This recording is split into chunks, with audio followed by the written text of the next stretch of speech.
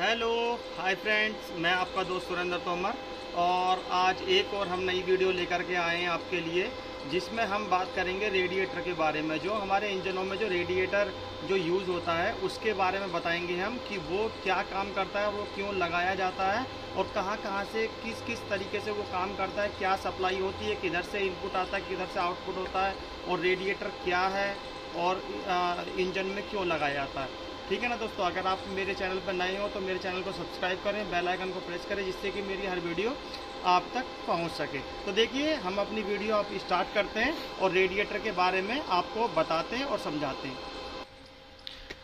हाँ तो देखिए दोस्तों, ये हमारा एक किर्लोस्कर का इंजन है, जो कि अपना जो बीस के वी का अपना इंजन है, अपना ठीक है ना, बीस के वी का हमारा ये जनरेटर है, जिसमें कि हमारा इंजन लगा हुआ है। और ये क्या है, ये रेडिएटर का क्या काम होता है? रेडिएटर का देखना, एक हमारा जो इंजन का एक बहुत ही अहम और महत्वपूर्ण हिस्सा है, जो कि ये हमारे इंजन को ठंडा रखने का काम करता है, ठीक है? जिससे कि हमारा जब इंजन रन करता है, इसमें काफ़ी टेम्परेचर बन जाता है। उसको टेम्परेचर को नॉर्मल रखने के लिए ये जो रेडिएटर है, ये काम करता है। अब किस तरीके से ये काम करता है? देखिए, इसमें क्या क्या चीज़ लगी हुई है। सब चीज़ के बारे में मैं बताता हूँ एक एक बात करके। अभी मैं इधर की साइड हूँ तो फिर उधर की साइड भी जाऊँगा तो उसमें दिखाऊँगा कि किस किस तरीके से क्या क्या चीज़ लगी हुई है। इस फ़ैन का क्या काम है, या रेडिएटर का जो पूरा काम मैंने बताया है अभी जो कि हमारे रेडिएटर का काम होता है जो हमारा जो इंजन का टेम्परेचर होता है, उसको मेंटेन रखने का काम होता है रेडिएटर का। ये कूलिंग सिस्टम है, ठीक है? ये हमारे इंजन के लिए कूलिंग सिस्टम है, ठीक है? तो ये रेडिएटर है। अब रेडिएटर के बारे में अभी मैं बताता हूँ, दूसरी साइड चल के समझाता हूँ, क्योंकि उधर ही सप्लाई आई हुई है। इनपुट कौन सी है? आउटपुट कौन सी है? ठीक है? और जो हमारा जो अंदर में जो दिखा हुआ है, ये कोर ट्यूब क्या होती है, ठीक है? तो ये चीज़ बता, बताने वाला हूँ। तो दूसरी साइड चलता हूँ मैं। हाँ तो देखिए दोस्तों, मैं दूसरी साइड आ गया हूँ, ठीक है? तो रेडिएटर की सबसे पहले हम स्टार्ट करते हैं रेडिएटर के बारे में। तो सबसे पहले हम फिलर कैप से स्टार्ट कर लेते हैं, जो ये जो कैप दिख रही है, ठीक है? तो ये फिलर कैप है, यानी कि जो अपना जो कूलेंट जो भरा जाता है, इसी को ही ओपन करके इसमें कूलेंट भरा जाता है, ठीक है? तो इसमें अब इससे आगे जो चलते हैं इनपुट और आउटपुट की जो सप्लाई जो हमें बतानी है इनलेट और आउटलेट ठीक है? और ये देखना ये जो आ, ये जो दिख रही है ये है इसमें कोर ट्यूब है कोर ट्यूब इनको कोर ट्यूब बोला जाता है जिसमें हमारा जिसमें हमारा पानी फ्लो करता है यानी कि पानी रहता है ठीक है? तो देखिए दोस्तों आ, जो हमारा इनपुट और आउटपुट की सप्लाई यानी कि किस किस डायरेक्शन में हमारा जो कूलेंट है वो किधर की तरफ़ फ्लो करता है। तो देखिए, जो भी मैं बताऊँ, जो हमारा जो ये वाला जो इंजन है जो इंजन है ठीक है? इंजन में हमारी जो सप्लाई गई हुई है एक नीचे से गई हुई है एक ऊपर से गई हुई है ठीक है? फिर बीच में ये हमारा जो है थर्मोस्टेट वाल दे दिया है जो कि हमारी जो ब्लॉक तक जो सप्लाई आने और जाने का काम करता है ठीक है? यानी कि यहाँ एक सप्लाई यहाँ पे गई है और एक सप्लाई ऊपर से होकर के यहाँ पे आई है थर्मोस्टेट वाल तक ठीक है? तो ये देखिए दोस्तों ये जो है हमारा जो ब्लॉक है आ, ये ब्लॉक में इनपुट और आउटपुट की सप्लाई जो ब्लॉक में कनेक्ट रहती है ठीक है? क्योंकि जब हमारे जब पिस्टन चलते हैं तो सबसे ज़्यादा हीटिंग केवल यही हिस्से के लिए है जो कि हमारा कूलिंग सिस्टम इसी, इसी के लिए हमें लगाया गया है जिससे कि हमारा जो इंजन का जो टेम्परेचर है वो नॉर्मल बना रहा है ठीक है? तो देखिए अभी इनपुट और आउटपुट की जो सप्लाई है यानी कि जो अगर हमारा इंजन है और इंजन की हम इनपुट और आउटपुट की जो सप्लाई की बात करी जाए तो देखिए जो हमारे जो इंजन में जो जाने वाला जो कूलेंट है तो वो नीचे की तरफ़ से जाता है, ठीक है? नीचे की तरफ़ से जब ये जो ये जो सप्लाई आई है, ये नीचे की तरफ़ से आई हुई है, जो कि हमारे जो होज पाइप बोला जाता है इनको होज पाइप से ये कनेक्ट है, ठीक है? दोनों, यानी कि जो ये रेडिएटर के हिस्से से जो नीचे की जो सप्लाई है, ये वाली जो है इनपुट है, ठीक है? तो देखिए दोस्तों, जो इंजन में जा रही है, यानी कि जो इंजन की जो सप्लाई है, वो इनपुट है तो यहाँ से ये गई है, ये वाटर बॉडी है, ये जो कि अपना जो जो कूलेंट को पास करने का, यानी कि जो प्रेशर से भेजने का जो काम करती है, वो वाटर बॉडी लगी हुई है, इसी के थ्रू जो हमारा जो कूलेंट है, वो घूमता है, ठीक है? तो इस वाली सप्लाई में को होकर के ब्लॉक में से, और फिर ये ऊपर की ऊपर की तरफ़ से होकर के, यहाँ पर आ जाती है। अब ये क्या चीज़ है? ये क्या है? ये जो बाईपास जो नली लगी हुई है बाईपास यानी कि बाईपास क्या है? जो एक हमारा जो थर्मोस्टेट वाल रहता है थर्मोस्टेट वाल जब तक हमारा ओपन नहीं होगा, तब तक हमारा इसी के, उससे ही हमारा जो कूलेंट है, ये इधर की तरफ़ से ही, हमारा बाईपास की तरफ़ से ही चलता रहेगा, ठीक है? यानी कि फ्लो होता रहेगा।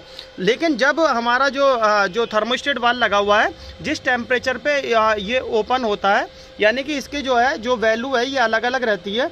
एक से दस टेम्परेचर फिर एक से बीस टेम्परेचर एक से तीस टेम्परेचर एक से चालीस टेम्परेचर जो भी हमारे इस इंजन में जिस टेम्परेचर का लगा हुआ होगा मेरे ख्याल से चालीस से पैंतालीस डिग्री टेम्परेचर पे आने पर ही आ, आने के बाद ये ओपन होता होगा तभी इसको ये आ, ये चलता होगा ठीक है?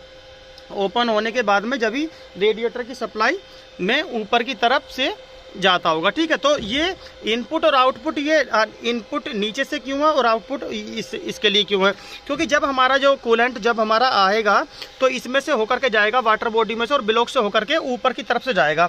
तो जो हमारा जो रेडिएटर की तरफ़ से जो फ्लो करता है, यानी कि किस डायरेक्शन में करता है, यानी कि ऊपर से लेकर नीचे, ऊपर से आता है और नीचे की तरफ़ फ्लो कर देता है। फिर नीचे से घूम करके, फिर हमारे इंजन से निकलता है, फिर ऊपर से आकर के इसी डायरेक्शन में चलता है, यानी कि ऊपर की, ऊपर से नीचे की तरफ़ फ्लो करता है। ठीक है ना दोस्तों? तो ऊपर से नीचे की तरफ़ आ, इसी डायरेक्शन में फ्लो करता है जो कूलेंट होता है अपना। फिर उसके बाद में जब हमारा जब फ़ैन चलता रहता है तो फ़ैन की मदद से यानी कि हवा की मदद से उस जो जो अंदर जो इसमें रेडिएटर में कूलेंट रहता है उसी को ठंडा करने का काम करता है। जिससे कि जो अपनी जो कोर ट्यूब लगी रहती है ये आ, आ, हीट होती है यानी कि जिस तरीके से टेम्परेचर बढ़ता जाता है उसी तरीके से हीट होती है। फिर इन्हीं को जो फ़ैन अपने जो फ़ैन लगा हुआ है जब इस पे एयर देता है जब ही उसको टेम्परेचर को को कम करने का काम करता है। फ़ैन का काम होता है उसको टेम्परेचर को कम करना। यानी कि जो आ, जो हमारा जो फ्लो कर रहा है यानी कि जो कूलेंट हमारा फ्लो कर रहा है ठीक है कोर ट्यूब के अंदर तो उसको टेम्परेचर को कम करने के लिए ये फ़ैन यूज़ किया गया। तो यानी कि इस ये जो कूलिंग सिस्टम है इस तरीके से बनाया गया है पूरी तरीके से जिससे कि हमारा जो टेम्परेचर मेंटेन रहे। यानी कि टेम्परेचर जो है हमारा कम से कम बना रहे जिससे कि हमारे इंजन में कोई प्रॉब्लम ना आ जाए। ठीक है? तो देखिए उस कंडीशन में जब हमारा जो काफ़ी टेम्परेचर रहता है यानी कि हमारा बाहर का जो गर्मियों का जो टेम्परेचर है चालीस चालीस अड़तालीस अड़तालीस डिग्री तो गर्मियों में वैसे ही टेम्परेचर हो जाता है लेकिन जब हमारा इंजन चलता है तो ऑटोमेटिक ही उससे ज़्यादा ही आ, उसमें टेम्परेचर रहना है।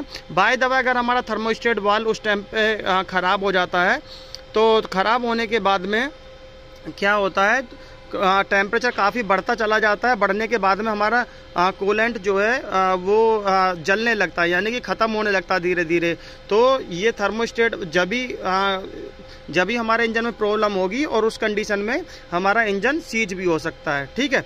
तो ये टाइमली इसको चेक भी करते रहना चाहिए। लेकिन जब ये ख़राब होगा तो वो दो तीन कारणों से होगा। अगर ये हमारा कूलेंट कम हो जाएगा या कूलेंट टाइम से उसको चेंज नहीं होगा ठीक है? तो इस पर जंग आ जाए या जिस तरीके से इसमें चोक हो जाए तो उस तरीके से ये हमारा ख़राब हो जाएगा, जिससे कि हमारा इंजन भी ओवर ओवर हीट हो जाता है और हमारा इंजन सीज होने की कगार पे आ जाता है। ठीक है ना दोस्तों? तो देखिए, इसी तरीके से मैंने बता दिया इनलेट कौन सा है आउटलेट कौन सा है, कैसे ब्लॉक में जाता है, किस तरीके से आता है, किस डायरेक्शन में हमारा कूलेंट जो है फ्लो करता है। ठीक है ना दोस्तों? और फ़ैन का क्या काम है? फ़ैन भी, जो भी हमारा जो कूलिंग सिस्टम बनाया गया है, ये सबको मिला करके एक टेम्परेचर नॉर्मल बनाए रखने के लिए ये कूलिंग सिस्टम इंजन के लिए तैयार किया गया है। तो देखिए दोस्तों, अगर मेरी वीडियो अच्छी लगी हो तो मेरे चैनल को सब्सक्राइब करें, मेरी वीडियो को लाइक ज़रूर करें। ठीक है ना दोस्तों? तो आगे भी मैं ऐसी वीडियो आपके लिए लाता रहूँगा। Okay friends.